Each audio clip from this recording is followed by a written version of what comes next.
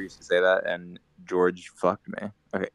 What? Okay. George, right. what about, no, George. I mean, like he I mean, ruined no my asked. vocabulary because that's like the improper way of saying it.